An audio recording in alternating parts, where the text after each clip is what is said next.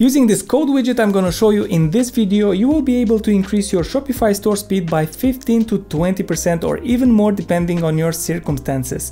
Best of all, the code widget can be installed in less than a minute by anyone who can work with an internet browser and can copy and paste code in place. We all know that store speed is a very important factor if you want to be successful with e-commerce, and Shopify stores tend to become slower in time.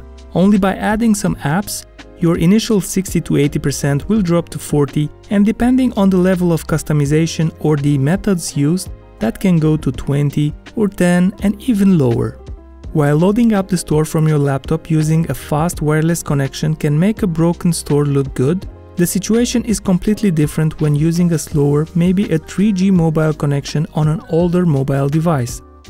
Even if we don't like it, most people shopping online use older mobile devices and don't have always the fastest internet connection. By focusing only on the customers who have the perfect internet connection and the best device, we reduce the number of potential customers greatly. Whenever Google shows a site speed of 20% or lower, that's an indicator of the fact that many of your customers will struggle to view your store, and even worse, they might not be able to load it at all in some situations. That of course will result in lost customers that will buy from your competition. To properly preview your customer's experience, you should open up your store while not on your Wi-Fi. Maybe outside where your phone's internet connection is not the best. In many cases, this is how your customers will browse your store, maybe on a bus or on a subway.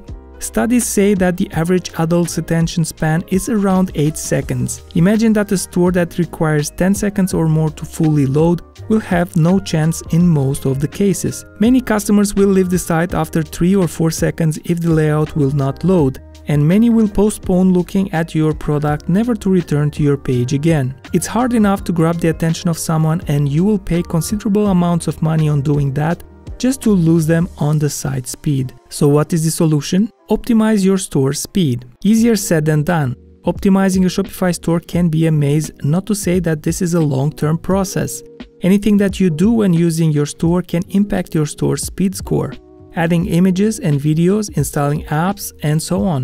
In theory, a Shopify store needs to load up all its essential assets first the layout, images, styling files, fonts, and everything else that makes it look as it does, and with a greater emphasis on the content that is over the fold. After all of that is loaded, we can start downloading apps and their assets. Many of the apps you are using are not needed in the first paint. Rather, they should be added after the user starts to interact with the store, aka click, scroll, or any input a user may have. The snippet of code that I'm gonna show you does exactly that. It modifies the Shopify async function that is responsible for injecting all the app scripts in the head of the theme.